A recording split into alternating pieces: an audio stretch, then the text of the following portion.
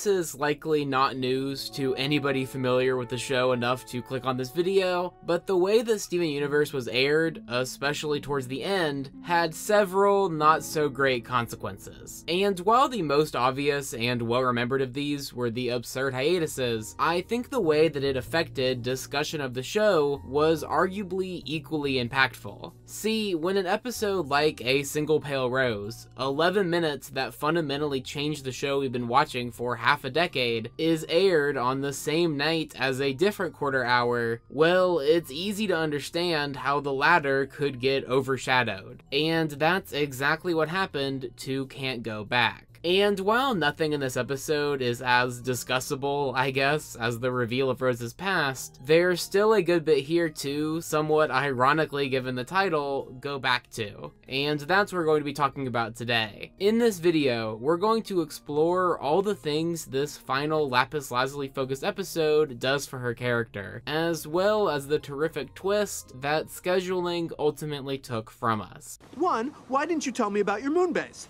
Two, take me to your moon base. Three, why does it look like a barn? Besides a quick glimpse at Peridot depressingly letting water drip onto her gem, perhaps to remind her of who she's lost, Can't Go Back kicks off with Ronaldo just like everything else great in life. And while it is only inevitable that I eventually make an in defense of Ronaldo video, his appearance in this one is ultimately more or less just to set the plot in motion, causing Steven to notice the barn on the moon and ultimately Lapis along with it. To somewhat set up the Lapis Lazuli of this episode, since we first saw the character in her truly terrific introduction episode, her arc had been shaky at best. There are some really good episodes along the way, with both Chille Tid and Alone at Sea being these ultra fascinating dissections of her relationship with Jasper, but the truth is, the less traumatic of a situation that Lapis gets into, the less interesting of a character she becomes. It's hard to argue against the fact that, as contrived as it honestly is, the fear that we see in the character in Raising the Barn does give her the wrinkle she'd been missing for quite a bit. Watching her seemingly shed all character development at the first sign of Diamond Trouble was something that genuinely didn't feel like anything else the universe had done to that point. A consequence of her unimaginable trauma that somewhat goes against the character improvement pattern of the series. And while I do understand why some fans find this part of her story frustrating, I see it more as the show understanding that while Steven did help Lapis, he can't undo thousands of years of trauma with some nice words and a song or two. Anyway, we'll circle back to all of those ideas in a second, but first, let's go ahead and get to the Lapis of this episode, who reveals that during her journey to get as far from Earth as possible, she began to regret her decision, instead setting up camp on the moon and ultimately setting up one of my favorite audiovisual moments that the series ever gives us. As Lapis shows Steven, she's been spending her time on Earth's satellite using the moon base's observation orb to keep tabs on her friends back on the planet. And the way it's portrayed to the audience just works so damn well. I'll hopefully be playing the music from the scene right now if copyright will allow, but the way that it comes together, both with the lack of any other sound as well as the contrasting shadow of Lapis, creates this scene that somehow manages to be completely surreal without feeling creepy, but instead just so sad. I'd go ahead and touch on the themes of the scene now, but the feelings of isolation portrayed here are what Lapis describes in her song. So I'm going to go ahead and tie the lyrics of That Distant Shore to why this scene succeeds so tremendously at portraying this feeling. As she sings in what becomes this generally really impressive tune, Lapis describes the pure joy of having a real family for the first time in her life, and how, at the first sign of possibly losing it, she just freaks out. Sure, all the other gems hypothetically understand what it'll be like if the diamonds come back and wreck everything, but Lapis knows exactly what it'll be like, and it's that discrepancy that drives her to leave. For the first time in her life, Lapis has something worth living for, and she just doesn't understand how everybody else around her can ignore the possibility of losing it.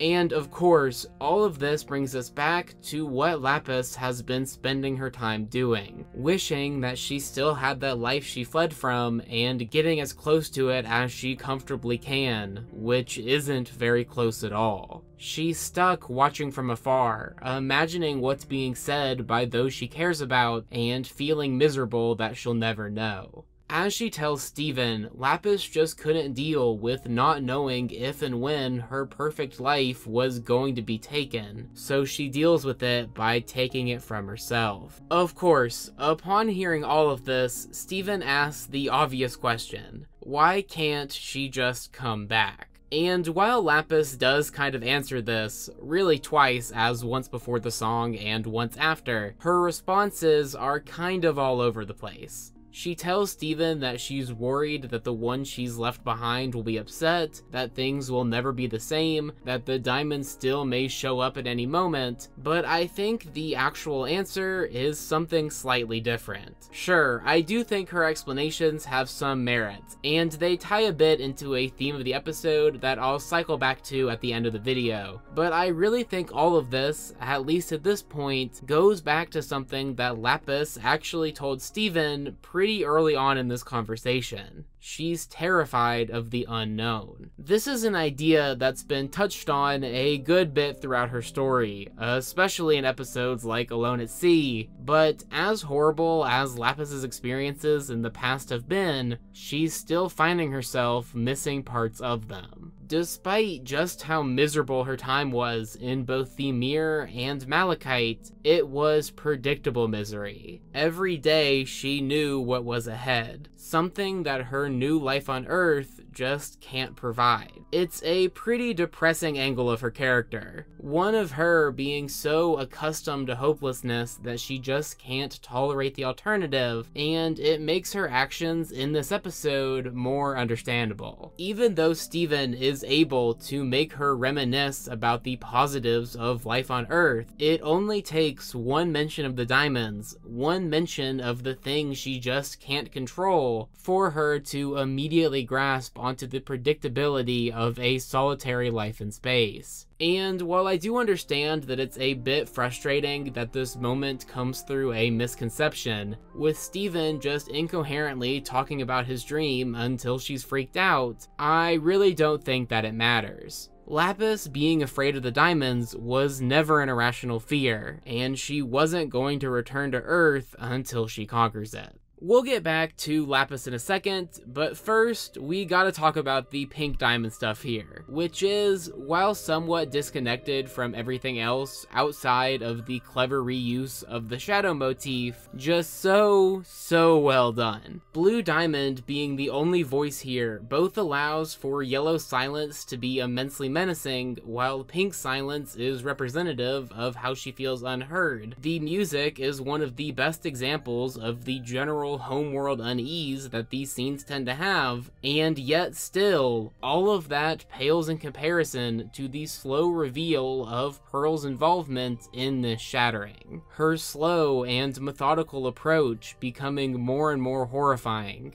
with the audience being slightly ahead of Steven only adding to this feeling, only for the scene to, instead of finishing with her slicing pink or cutting back to Steven, ends with Pearl looking at both Steven and the viewer, as our entire understanding of her, rose quartz, and pink diamond immediately crumbles. It's this clever twist that, while ultimately proven to be misleading at best, just completely recontextualizes how the audience was led to believe that Pink was shattered, framing Pearl as this killer that we had already so easily categorized Rose as. And while there is a brief intermission after this to let Lapis run away again, again. The show then arguably hits us with the actual biggest twist of the episode. I'm being a bit facetious here, but seriously, in a series where Steven commonly learns these crazy things about his world that he then pockets for later, it wasn't entirely out of the question that he would just do the same here. That he wouldn't just look at the mural, go, gee lion, this gem stuff sure is puzzling, and then go help Sour Cream reinvent dubstep or whatever. But instead, the episode doesn't do this. First, allowing Steven to process the Lapis developments, and then... Lion, I need you to take me to Pearl.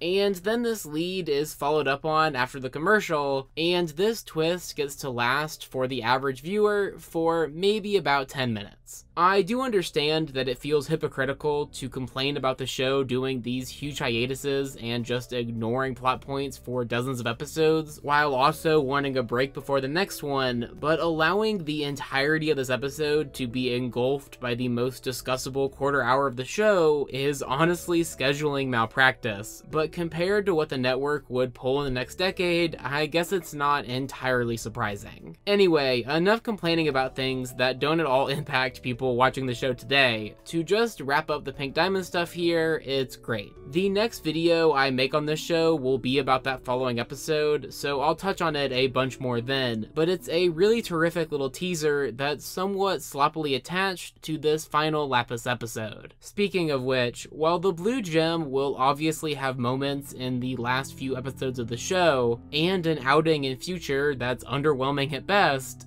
this is really the last solid look at Lapis Lazuli that we get, and I think the final place they take the character is pretty neat. And while there is definitely an anxiety angle to the story, with Lapis being too afraid of getting hurt to allow herself a chance at finding joy having some pretty clear parallels, I actually find this arc most interesting relative to the rest of the Lapis stuff from the show. Somewhat unfairly ignoring the time that she spends as Peridot's comedic partner, Lapis's two main story arcs revolve around her having to deal with both her time in the mirror and as Malachite, as well as the complicated feelings that arise in the aftermath of those situations. And while the specifics of those stories are really terrific to explore, like her urge to reunite with Jasper despite their time together, I think the Lapis that we see in this episode works as a nice cap to everything she's gone through. After so much trauma, it's just impossible for her to experience joy in the same way she sees others doing, and she just can't deal with it. And even though the story is never quite given the conclusion it deserves, with her getting like a cool moment and a half and reunited before she's assumed cured in time for the finale, I think this episode serves serves as the epitome of her presence in the series. While undeniably unlikable at times, Lapis Lazuli throws the show and the audience a final curveball